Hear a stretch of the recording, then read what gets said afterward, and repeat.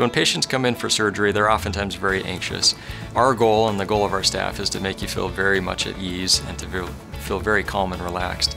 You'll meet with the staff and make sure all the paperwork is, is signed and ready to go. And then we'll run a few uh, tests prior to the surgery as well. We give you some Valium to help reduce any anxiety and, and again help you feel comfortable with the surgery. And then we move you back to the laser suite. The initial part of the procedure for LASIK involves uh, making the LASIK flap in the cornea. To do that, we put little suction rings on the front part of the eye. There's a little bit of squeezing and pressure uh, during uh, the flap making uh, process uh, that lasts for a couple of minutes uh, total time. Their flap making is done with a laser, so there's really no pain during that process either. It's very easy, just a little bit of squeezing pressure.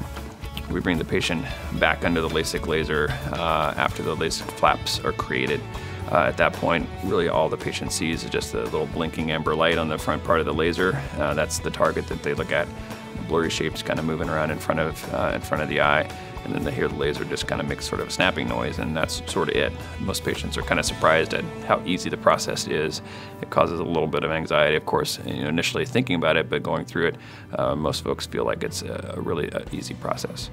We recommend that you go home and rest your eyes, maybe take a nap for a couple of hours, and then wake up and start using those eye drops that, that we discussed prior to surgery. The recovery time for each patient sometimes can vary. Most of the time, by day two or day three after surgery, you're feeling like your vision is perfect and you're able to resume all of your normal work activities that you were doing prior to surgery.